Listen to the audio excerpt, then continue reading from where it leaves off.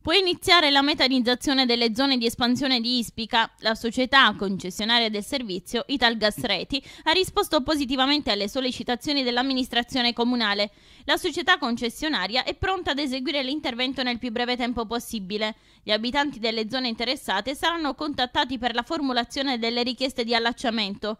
Trattandosi di un intervento che Italgas Reti eseguirà sotto forma di investimento per servire nuovi quartieri, non saranno richiesti contributi di allacciamento agli utenti utenti. Saranno oggetto dell'ampliamento della rete di distribuzione del metano le palazzine in cooperativa e gli ACP di via Aldo Moro e adiacenze, la lottizzazione S4 di via Fronterre Turrisi adiacenze, l'agglomerato residenziale di Cozzo Pilato, le abitazioni ai lati della Scala Nova.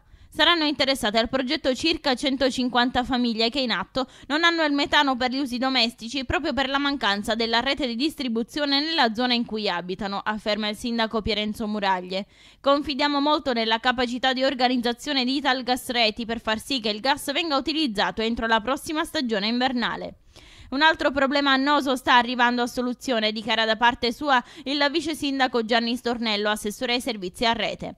Abbiamo ottenuto da Ital Gas Reti la disponibilità ad eseguire l'ampliamento della rete e l'esecuzione degli allacciamenti in tempi molto brevi e in forma gratuita. A carico dei richiedenti saranno solo le spese contrattuali con la società di vendita nell'ordine di poche decine di euro. Già nei prossimi giorni gli abitanti delle zone interessate saranno contattati per formalizzare le richieste in modo da dare alla società di distribuzione l'esatta ubicazione delle utenze. Abbiamo letto il comunicato stampa firmato dal sindaco Pirenzo Muragli e dal suo vice assessore ai servizi a rete Gianni Stornello.